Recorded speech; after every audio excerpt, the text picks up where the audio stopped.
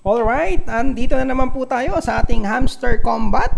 Ayan guys, kung mapapansin nyo, 22 seconds left na lang para ma-full ulit yung energy natin. So, 5 over 6 available, 16 seconds, 15.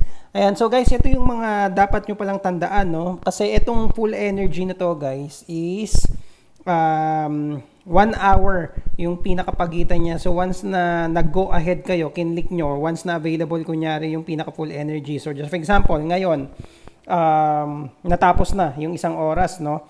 So pwede nyo nang i-click guys yung full energy. Ayan, so ma tapos i-click nyo yung go ahead but then again, gaya nga nang na-mention ko no, sa mga previous video natin, so bago nyo po i-click yung go ahead sa ating full energy, make sure na makita nyo muna yung pinaka-remaining energy nyo dito guys. Oh, pansinin nyo, 7,200 plus over 8,500. So sayang kung i-go ahead nyo agad-agad yung pinaka-full energy. So ang gagawin nyo guys is i-click-click or i-tap-tap nyo lang to guys.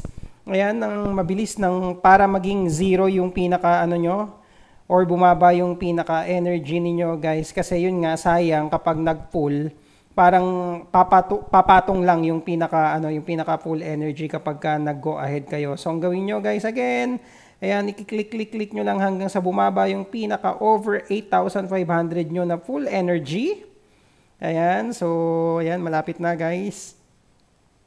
Ayan. So, ito yung ano, ito yung importante guys kapag ka ina-upgrade nyo yung earn per tap. Kasi kung mababa yung earn per tap ninyo, kung nakatulang yan or 3, so napakatagal nyong gagawin yung pagkiklik.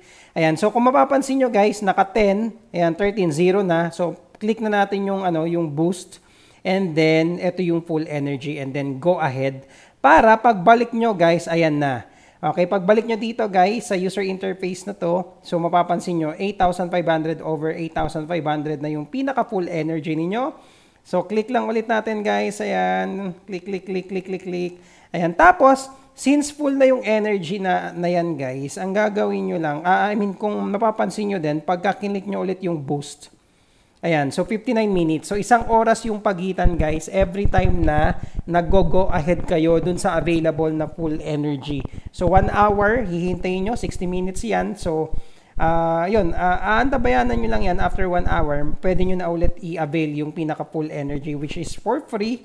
Ayan, tapos yun, huwag kakaligtaan na dapat yung energy nyo dito guys, yung over 8,500 kung ano man po yung nasa account ninyo, dapat i-zero nyo muna yan. Ayan.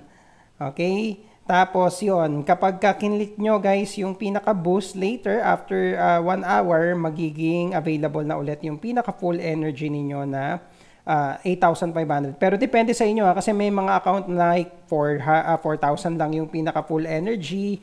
Okay, so pwede nyo rin namang i-upgrade yan yun, sa ganyan.